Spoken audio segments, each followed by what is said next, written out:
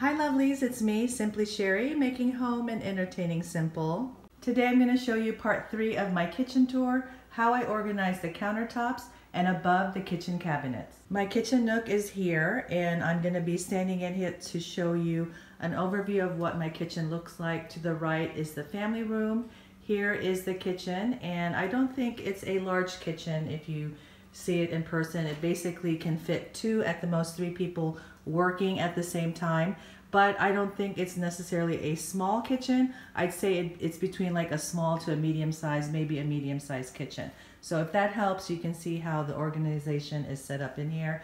Now what I like to try to do is to have all the countertops as clear as possible. I have this bar countertop here. There is a small countertop space to the right of the kitchen sink and a little bit larger one to the left. To the right is the pantry, junk drawer, and a little countertop that is just enough space to hold the toaster oven. It is a larger toaster oven and we like it that way. And then here to the left of the refrigerator is another countertop, just a little bit bigger than the one to the right.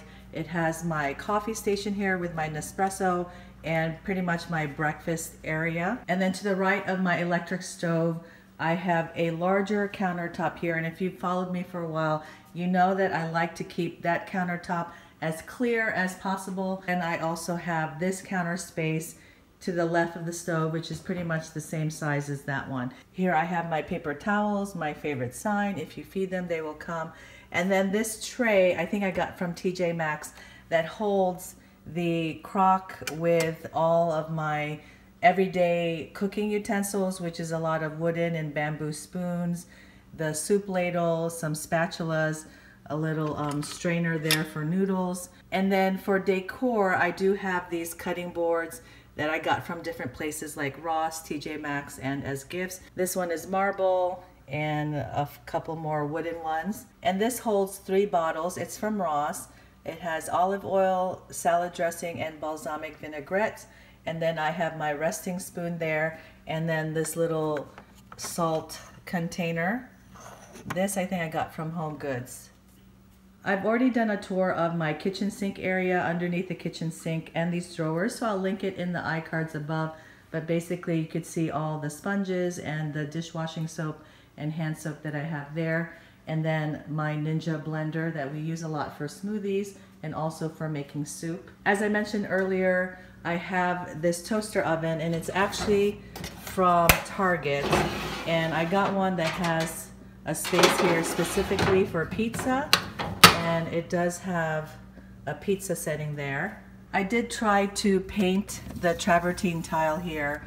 I don't like how it turned out so I am having someone eventually change out that tile to this subway tile that I had picked out I think from Home Depot. So it's just a matter of time of getting that done. And he's gonna do it kind of like a staggered subway. I love my Nespresso machine and I have this orchid that is there so that I can hide the outlet and the plugs that's behind it. I have these OXO containers that hold our different types of cereal with this little scoop that I got from the Dollar Tree. There are two for a dollar and the measurement is one eighth of a cup. Cereal, cereal, cereal, and this is oatmeal. And the other thing I like to do when I'm organizing my countertops is to have a space available on the countertop itself. So example, if we are going to be having cereal, there's a space to put the bowl and to put the stuff into the bowl. Here for the coffee, there's a space to put your coffee cup and then do all the little accoutrements for that.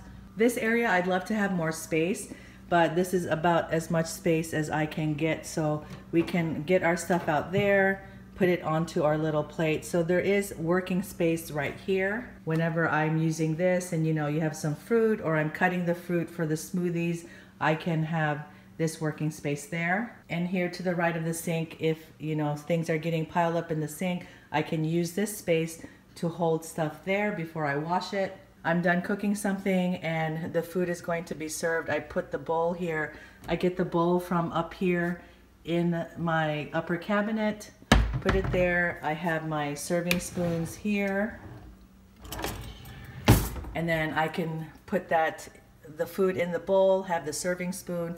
So it's kind of enough working space for that. And here I like to keep clear because this is where I prep, this is where I cook, I take out the spices, the oils, the sauces. So I need as much space as I can have. For this bar counter, I like to keep it as clear as possible. Now this is just like asking for something to be put on there, but we're pretty good at if we put something there, we put it away before the end of the night. We do use this when friends come over and we do have seats for them. There's three seats.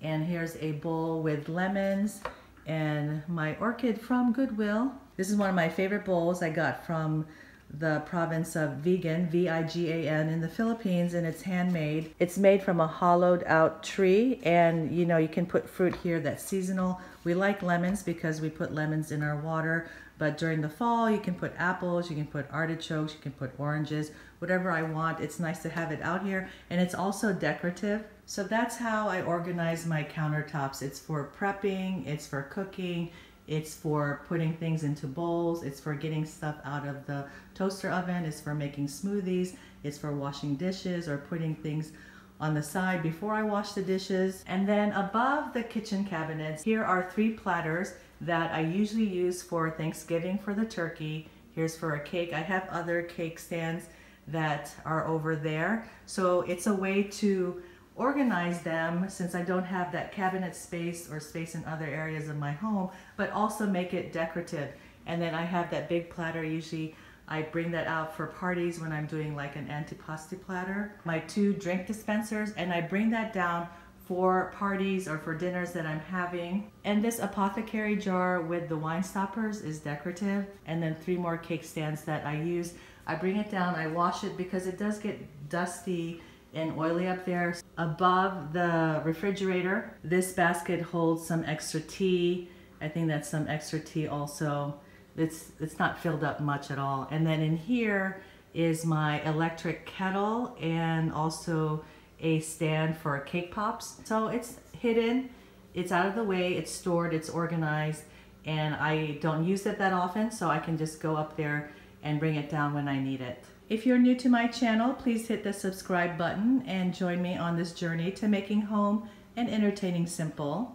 Please leave a comment below and let me know how you organize your countertops and even how you organize your upper cabinets and I'll see you in the next one. Bye.